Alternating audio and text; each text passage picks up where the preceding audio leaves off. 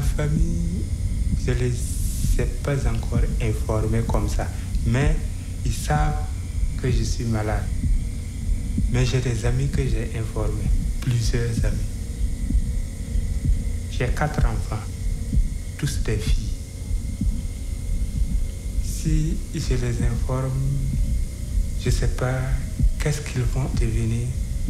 Puisque c'est des enfants, ils peuvent pleurer devant moi et ça ne va pas me plaire. Ça, c'est sûr.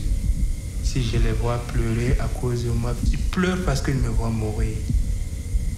Donc ça va m'affaiblir et ça peut m'aggraver même mon mal. Je m'appelle Ilvoudou Dieudonné.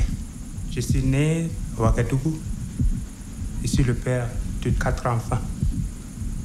Ma femme est décédée lors d'un accouchement. Elle est tombée malade. Et après neuf mois, elle est décédée. Mais malheureusement, on n'avait pas pu faire le test